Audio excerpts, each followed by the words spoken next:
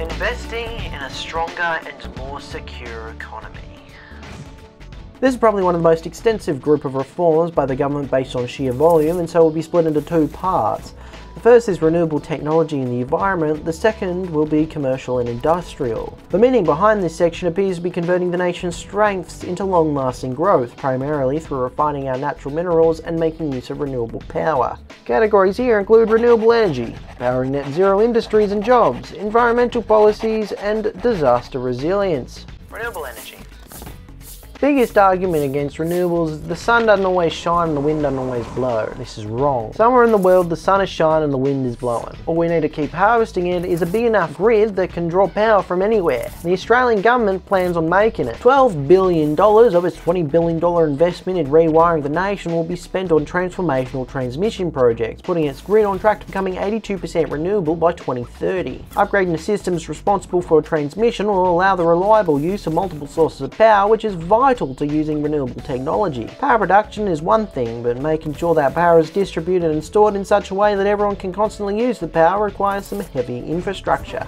The government is spending $12 billion to secure the electricity grid. What kind of things can you get done with that budget? For starters, $1 billion of low-cost debt loans was invested in Tasmania's Battery of the Nation project, which will use hydropower in places like Lake Cethana to store energy. $1.5 billion will also be seen for Victorian Renewable Energy Zones, REZ, and offshore wind. Renewable energy zones are areas determined to be most ideal for building renewables on, a bit like planetary features and Stellaris. On top of that, $4.7 billion will unlock critical transmission and REZ in New South Wales, including plugging in Snowy 2.0. Other examples include include the Hunter Transmission Project, where the uniquely potent renewable sources and existing mining infrastructure could see massive investment in green industry. All these projects will be linked by massive electricity interconnectors like the Marinus Link, which is a $3 billion wire planned to connect Tasmania and Victoria.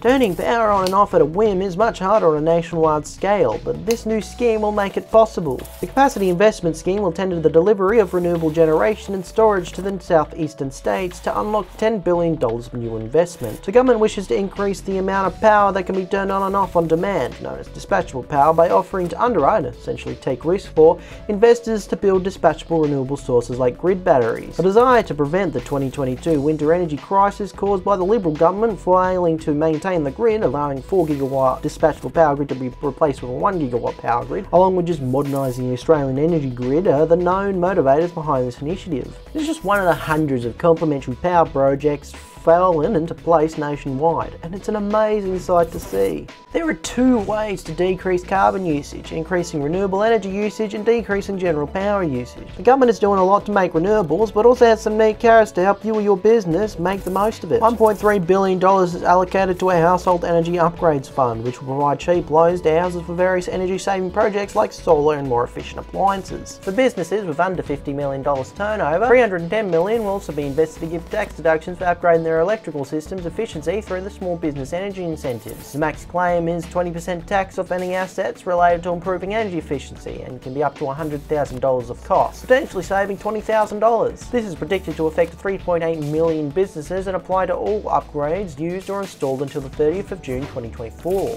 There is now a proper plan to get Australians to adopt and afford electric cars. This part of this plan is a national electric vehicle strategy which intends to outline a broad idea for adopting electric cars. This strategy contains three objectives increase supply of affordable EVs, establish EV infrastructure, and encourage EV demand. The first policy enacted under this strategy is $7.4 million to support fuel efficiency standards designed to encourage the supply of more EVs. $7.8 million for the Transport and Infrastructure Net Zero Roadmap and Action Plan, organising the many changes to how emissions can be reduced in transport, including alternative fuel, new technology, and improved infrastructure like rail, something that was unsurprisingly welcomed by the Australasian Railway Association.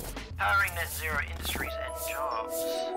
What is the future of fuel in Australia? The $2 billion Hydrogen Head Start program will support large-scale renewable hydrogen projects through competitive contracts. Hydrogen is a renewable combustible fuel that can be used for industrial heat, heavy transport fuel, and potentially manufacturing purposes. Contracts for two to three flagship projects, including $2 million for Indigenous consultation support, will have the goal of providing 1 gigawatt of electrolyser capacity and build on the basis for the hydrogen industry to expand expand further. It has become more difficult to invest in renewables in Australia due to the US increasing their competition and taking away the expertise and investors needed for the cutting edge projects. $38.2 million will be spent to establish a guarantee origin scheme which will reliably track where emissions come from. Australia plans on becoming a renewable energy superpower by manufacturing their own technology. But how are they going to get the minerals for it? $57.1 million will be spent to develop the Critical Minerals International Partnership Program, working with countries like the US, Japan, and others. This will advance mineral sciences, sustainable practice, and address risks to supply chains, which is seen from the pandemic can cause devastation to productivity when disrupted. This program secures all the necessary resources to build a renewable manufacturing industry with a $2 billion critical minerals facility and $15 billion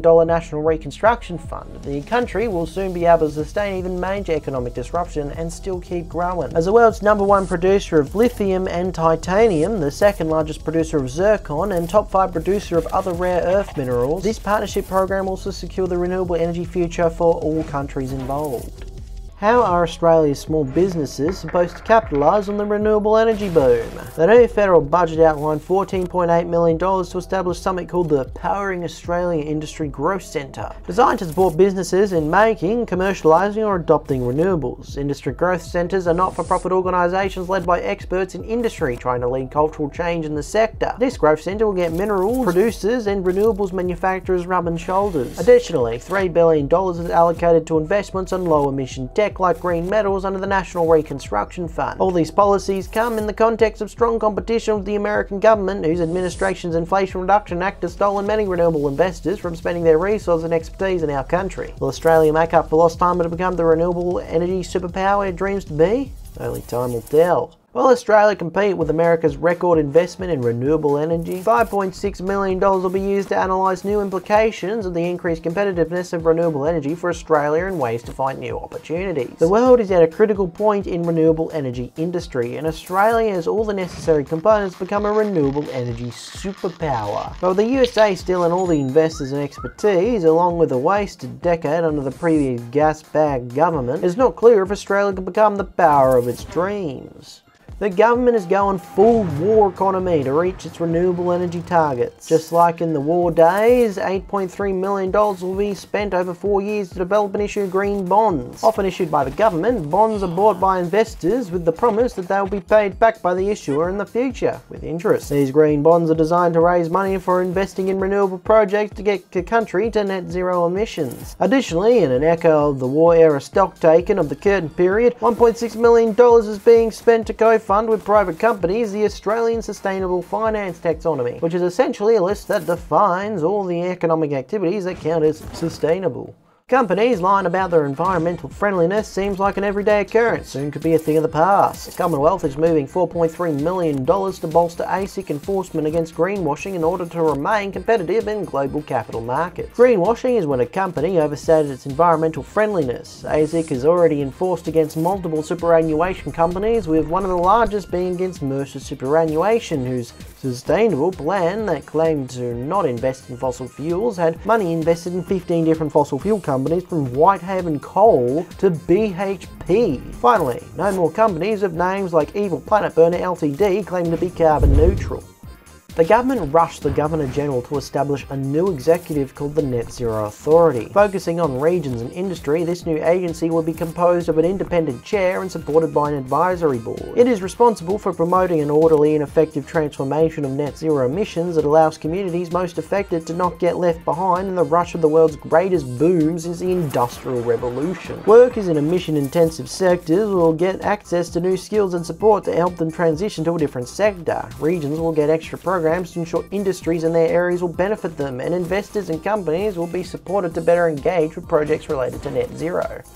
The government will be using the Powering the Regions Fund to populate the regions and turn them into an unshakable superpower. Core to the Powering Regions Fund is reducing emissions in regional areas using a special net zero economy task force. Existing industries like mining will be made more carbon neutral and have the generated wealth feed back into the towns that made them, turning the country from a desolate seven city backwater into a booming continent-wide federation and world power. The government is still nailing out how exactly it will use the Powering the Regions Fund fund to build up the region, but complementing it already includes massive regional projects like hydrogen hubs to create clean fuel and the Northern Australia Infrastructure Facility to ensure the things built in the region suffer no funding delays.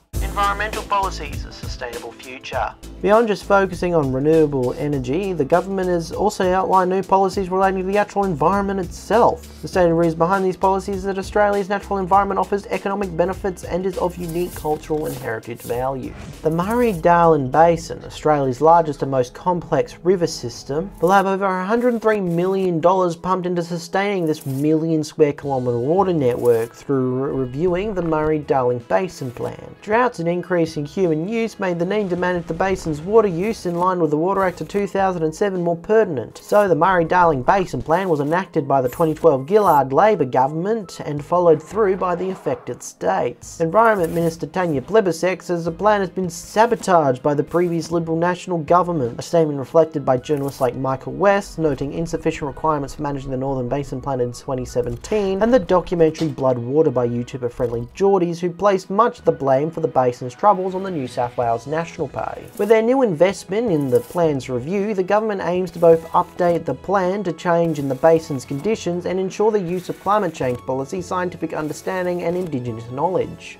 In 2022, the government released a Nature Positive plan. This plan was based on a simple premise. If our laws don't change, our trajectory of environmental decline will not change either. Based on a report by Graham Samuel AC, it was intended to improve environmental protections, get departments dependent on environment decisions, and make doing the right thing easier. The new budget has moved the plan further, $121 million to establish Environmental Protections Australia and $51 million to establish Environment Information Australia. Environment Protection Australia will serve like an environmental protection agency, independent and bound to transparency. It will make assessments approvals and conditions relating to the environment. According to Mirage News, new laws being negotiated will enhance the new agency's powers in preventing biodiversity loss. Environment Information Australia will be a data body which will provide quality information about the environment with the intent to be used in regulation planning and reporting.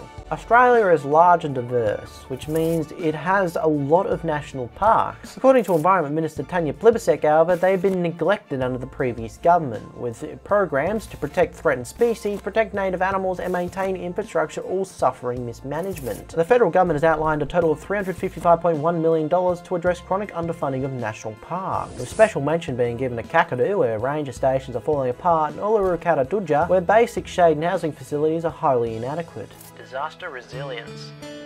Natural disasters have devastated Australia from the get-go, but they have reached near unfathomable scales in recent years, with by far the most notable disaster being the 2019 bushfires, whose memory only fades with the pandemic that came after.